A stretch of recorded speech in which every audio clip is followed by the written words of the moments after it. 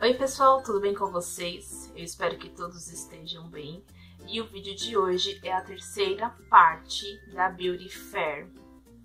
Para quem não viu os outros vídeos, eu vou deixar passando aqui no link, tá? Nos cards. Como eu expliquei nos outros vídeos, eu decidi separar esse vídeo por dias de visita. Então esse é o terceiro dia que eu visitei a feira. Porque assim eu não tenho muitas coisas para mostrar para vocês, eu consigo explicar melhor e mostrar as coisas melhor também, tá? É, falando um pouquinho da feira, que eu sei que vocês gostam de saber se vocês têm curiosidade. Então, gente, é, o terceiro dia da feira caiu no dia 11, dia 11 foi na segunda, e foi um dia bem mais tranquilo, a feira tava bem mais vazia, e eu consegui visitar um número maior de estantes. Então eu visitei Forever Liz, Phelps, Ruby Rose, Hits, Net Pharma, Anaconda, Alphaline e Haskell, tá? Então dá pra visitar bem mais stand, eu tenho mais coisa aqui pra mostrar pra vocês. Então vamos lá conferir o vídeo.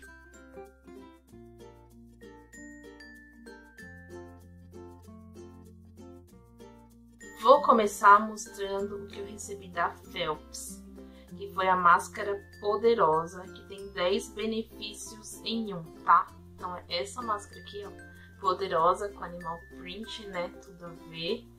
É, tinha quatro youtubers lá, tinha as gêmeas, que eu não lembro o nome delas direito, que é a Natasha e Nayara Hatakasu, que vocês vão me xingar por isso, né? Gente, essa máscara é muito cheirosa. Ah, muito cheirosa. E ó, mais uma máscara bem consistente, né? Forever sempre é legal. E eles estavam com três lançamentos. Uma era um vinagre de maçã em spray. Uma era uma máscara maisena. E tinha essa daqui, que a maisena era de alisar, sabe? Aí eu acabei escolhendo esta daqui. Era pra você escolher, tá? Um produto entre os três.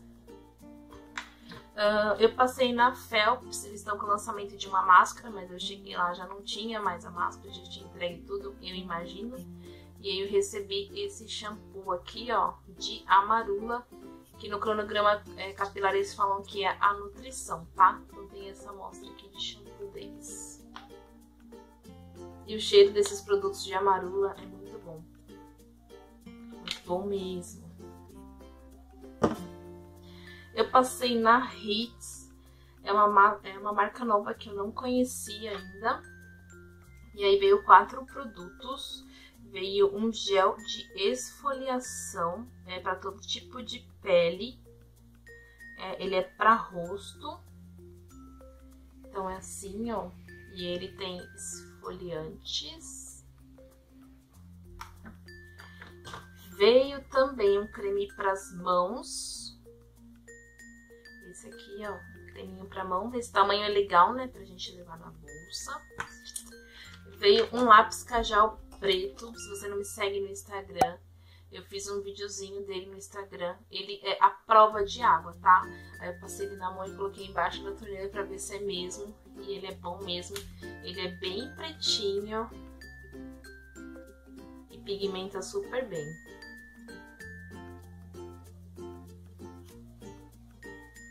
É macio e sai muito fácil, ó. E bem preto, cheiro bem legal, gostei bastante.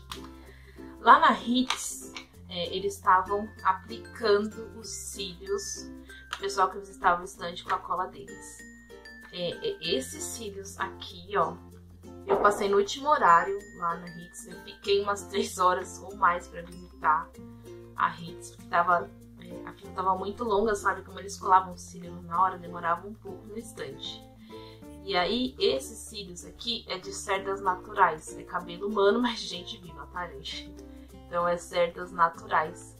E com a cola deles, a combinação dos cílios com a cola da Hits, fala que os cílios ficam até 4 horas, tá? Até 4 horas não, até 4 dias. Na pessoa, se você tiver cuidado para fazer a remoção da maquiagem e tal, esses cílios ficam por 4 dias colado.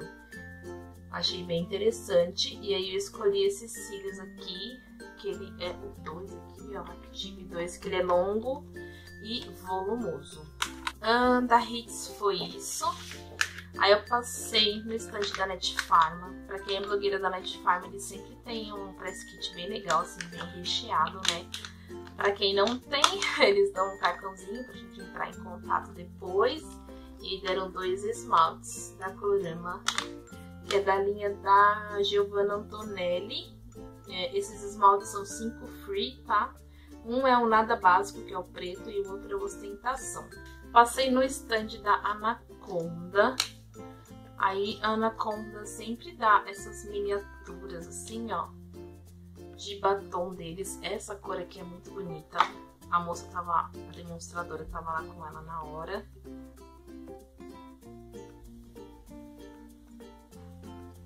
Eu achei bem bonita. Lembra o 236, sabe? Esse é o batom mate fake. Ó, esse aqui. Marrom bem escuro. Aí, esse daqui é o número 5.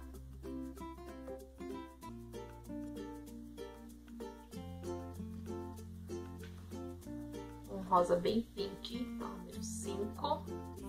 Esse daqui é o Darling. Darling me lembrou o shampoo. Peraí que tá difícil de abrir.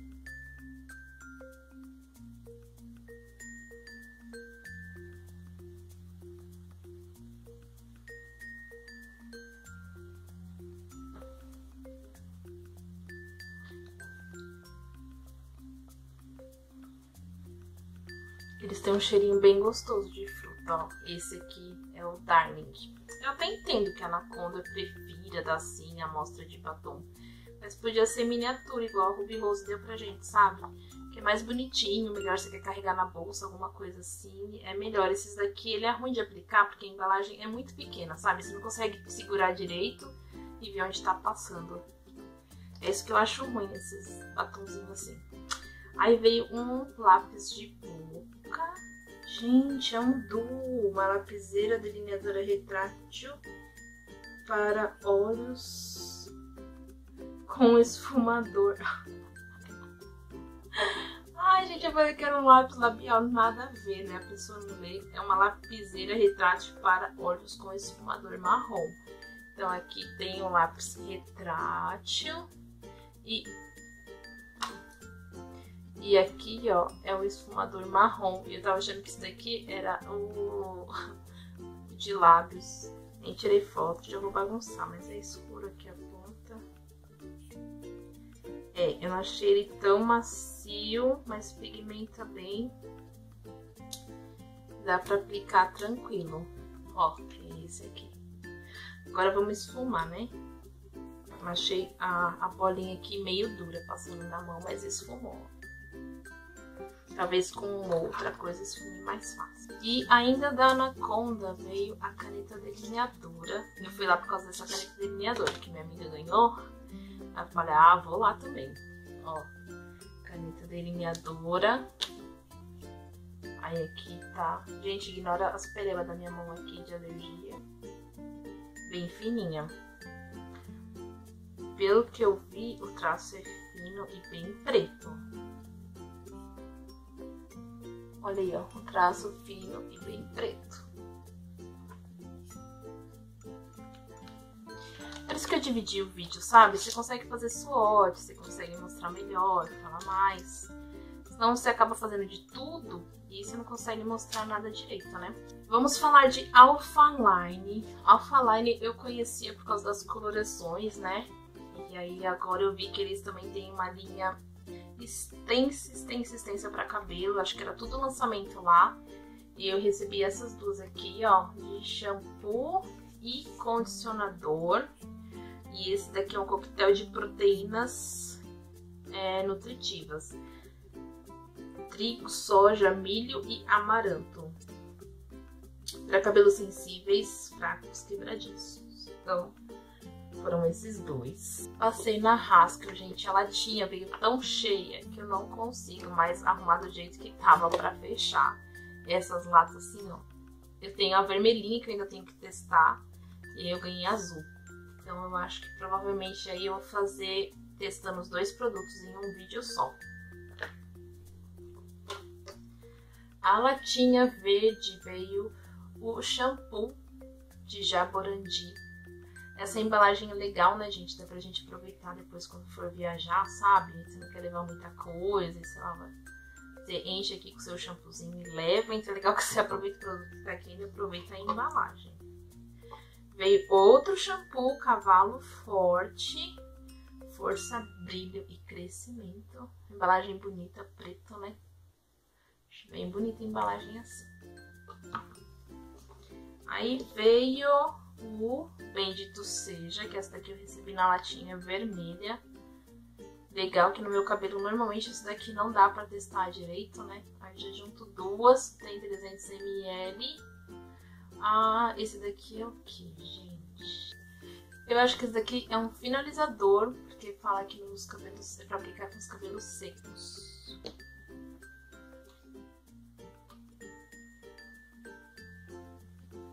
Aí vem um creme de silicone de tutano e queratina.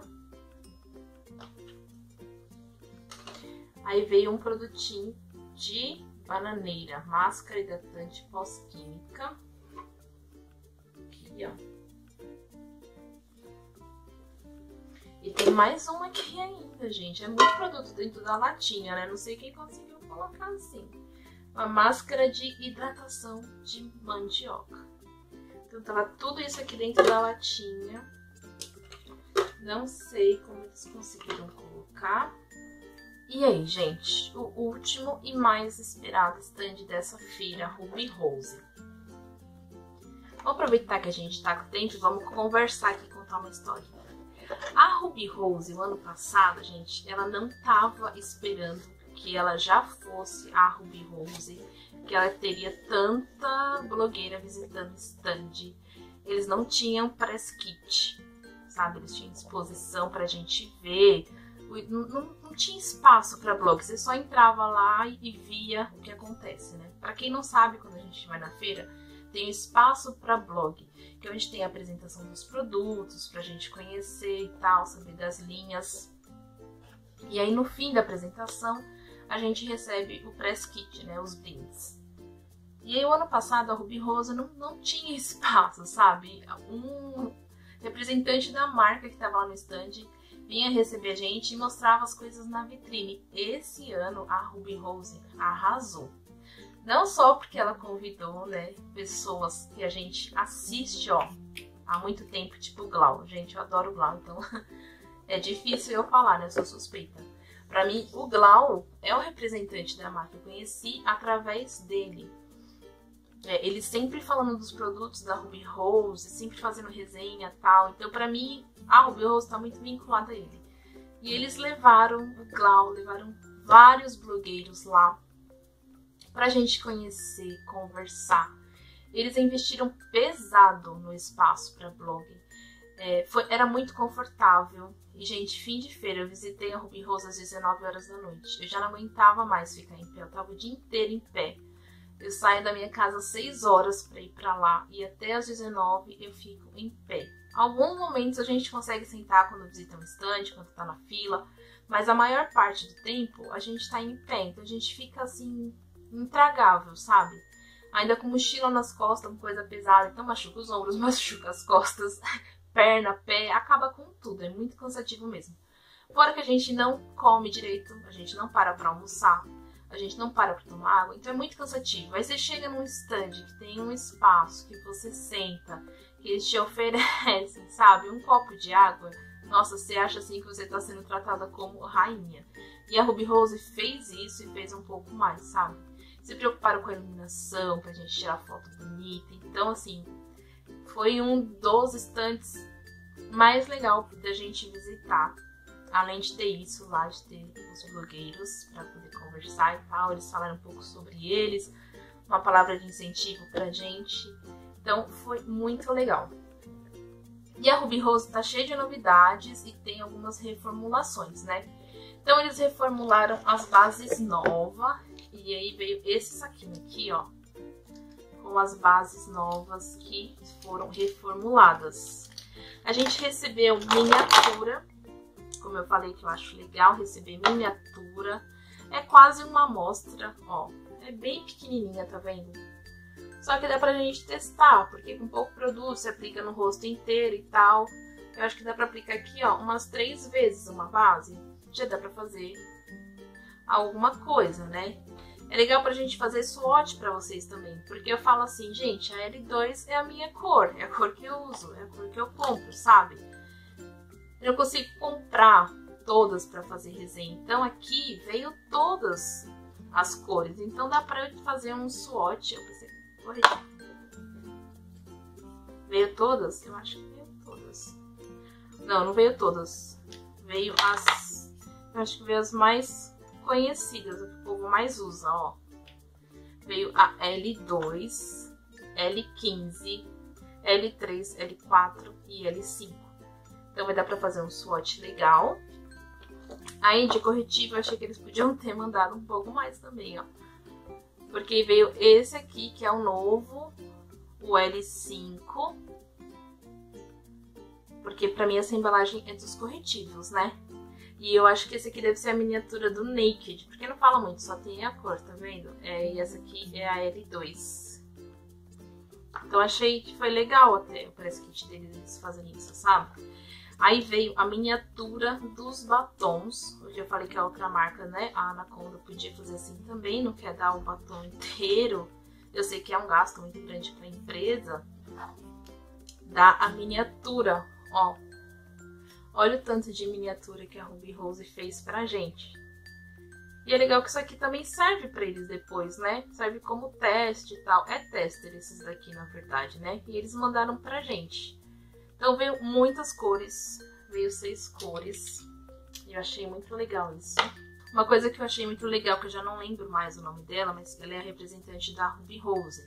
Ela falou que muitas coisas eles estão reformulando porque eles escutam as consumidoras e os blogueiros, sabe? Às vezes a gente fala assim, ó, oh, isso aqui não é legal, poderia ser melhor. Algumas marcas levam pelo lado negativo. Quando você fala, isso aqui não é legal, poderia ser melhor, eu acho que devia levar pelo lado positivo, porque você tá fazendo uma crítica construtiva. Se você falar esse negócio aqui não presta, não compre, aí sim eu acho que é chato, sabe? Porque você não disse o que que não é legal, você não tá orientando, você tá só criticando. E crítica não sem sugestão, sem ser construtiva, porque a parte da sugestão não é legal para ninguém, né? Aí eu concordo. É, eles falaram lá, ó, que eles reformularam esses batons. Esses daqui são os batons duos. Porque o pessoal tava reclamando da duração, que craquelava, alguma coisa assim e tal. Eles foram lá e reformularam.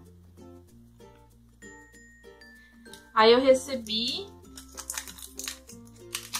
Reformularam, mas eu acho que essas cores são novas. Eu acho que eles reformularam e lançaram algumas cores.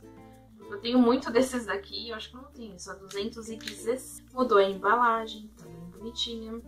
Parece um vermelho telha, assim, bem diferente. Aí a parte da bala pegou aqui em cima. Legal, porque a bala tá a cor muito parecida com a embalagem, muito parecida com a líquida, sabe? Porque às vezes você pega um duo e não tinha nada a ver uma cor com a outra. Ó, bem parecida uma com a outra e bem parecida com as cores daqui, né? Essa é a 262. Cheirinho de ruby rose, de batom de ruby rose eu gosto. Bem macio a bala, bem fácil de passar, sabe? Não é uma bala mate seca, não. Essa daqui, 262. Reformularam também os batons bala. Em novas embalagens. Em vez de ter um buraquinho aqui, ó, tem a cor aqui em cima, que é facilidade e praticidade, né, gente? Hum, mudou, ó. Aqui, ó, é uma cor grafite agora, bem bonito. Essa cor, gente, é a 225. Ó, é essa cor aqui. Parece essa daqui de cima, né? Só que ela é um pouco mais escura. E o rosinha é o 223. Ó, esse rosinha aqui. E tem as sombras, né? As sombras elas já lançaram antes. E a gente recebeu lá na feira. Vocês vão perguntar dos iluminadores, né, gente? Porque a maioria das fotos do Instagram são dos iluminadores. Só que eles não tinham iluminador lá para colocar no press kit. Nem os blogueiros né, da Ruby Rose receberam. Que eles iam mandar para casa, porque não tinha, tava fabricando. E essa daqui é uma das sombras, tá? Uh, essa daqui é a Fantasy, Bi Fantasy. Eu acho que todos são Bi, né? Bi Fantasy. E ela tem cores é, HD, 3D, cores com shimmer, né? E cores opacas. E a mesma coisa da Butterfly. A embalagem mudou bastante, né? Eu acho que essa coleção deve ser pro verão, né, gente? Porque ela é bem colorida. As duas, assim, vêm com bastante cor. Vem as clássicas, as claras, a marrom, né? As, as escuras para fazer um cantinho. Mas tem bastante cor na paleta. E mudou bastante a embalagem daquela outra que eles estavam eles tinham aí, né, que ficou super famosa por foram inspiradas nas nakeds e tal. E aí minha dica para você que gosta de ter o produto sempre bonitinho, ó, eu coloco ela na caixinha de volta ao contrário e coloco ela lá no meu organizador de maquiagem, assim não estraga. Tá sempre novinha. E foram esses os recebidos no meu terceiro dia de Beauty Fair. Mostrei tudo, falei tudo, falei. Eu espero que vocês gostem do vídeo. Deixe aqui seu comentário, avalia. Se você já viu alguma coisa aqui que você já quer ver resenha, a gente já escreve aí, tá? Pra eu começar a usar, saber que prioridade eu dou pras coisas. Então é isso, um beijo e tchau!